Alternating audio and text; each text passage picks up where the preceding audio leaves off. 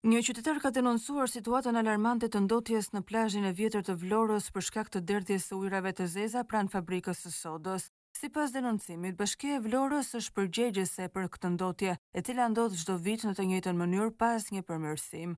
Shkarkimet e ujërave të zeza ndodhin çdo vit pa asnjë përgjegjshmëri. Turistët shkojnë në mëngjes dhe largohen maksimumi në orën njëmbëdhjetë, sepse atëherë bashkia kryen derdhjen në det të ujërave të zeza, shkruan qytetari.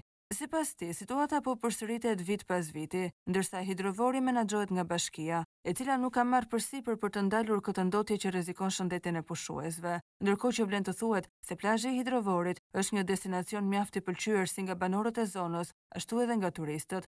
Denoncimi i qytetarit, Dërgoje një herë AKB në plazhin e vjetër të Vlorës, vetëm të shohë ndotjen që bën bashkia Vlorë me derdhjen e ujërave të zeza pranë fabrikës së sodës. Aty bëhet një krim! mes gjithë atyre pushuesve. Shkojnë turistët në mëngjes dhe largohen në orën njëmbëdhjetë maksimumi, sepse atëherë bën derdhje në det bashkia të ujërave të zeza. Hidrovorin e ka në menaxhim bashkia. Aty bëhet gjithë grumbullimi i ujërave të zeza të qytetit. Këto shkarkime kanë qenë gjithmonë të njëjta, në çdo vit, vazhduan edhe këtë vit pa pikë përgjegjshmërie.